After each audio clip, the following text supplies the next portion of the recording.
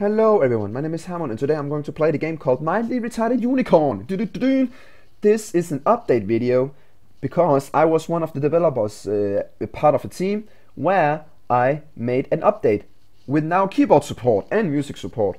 So now you can uh, play this game with the keyboards and then it supports uh, Q, W, E, I, O, P keys. So you can figure it out yourself what does what and uh, yeah um, intentionally actually.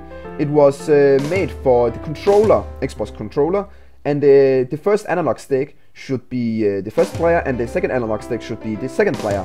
And uh, it should be this was meant to be a cooperative game where the goal is to go to the gold sign. If you can see it right now, but yeah, as you can see, it says player two wins.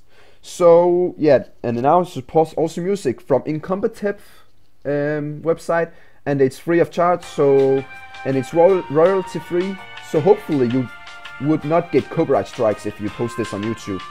And um, yeah you're free to play it. I will be lovely and delighted to see any of your gameplays. I've already seen some gameplays but please post your gameplays in the description uh, not description in the comment section below or you can go to my blog and post uh, those there. And yeah hopefully you will enjoy this game or hate it I don't mind. It's more like it should be frustrating to play this game. So give me a sec. If I can go. Whoa! I'm bossed in this game. But I'm not going to show you. Okay, never mind. I'm going to see it. Bye. Bye.